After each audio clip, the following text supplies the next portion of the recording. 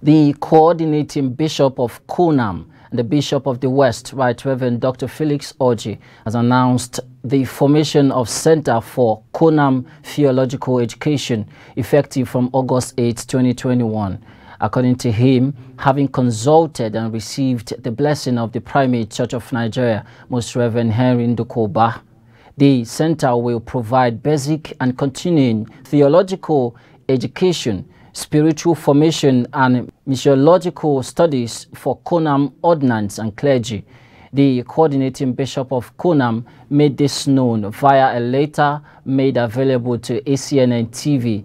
Bishop Orji stated that the issue of theological education, spiritual formation, Christian character, and training for evangelistic mission in the conflicted, multicultural, and ethically compromised global world is a matter of extraordinary importance in Christian ministry, especially for the Church of Nigeria North American Mission. Hence, the need for the creation of the center. CONNAM wants to create a mechanism to enhance the effectiveness in the mission in North America for effective delivery of this program. Hence, the appointment of Reverend Canon Dr. Godpower Obo as Director of the Center for CONNAM Theological Education.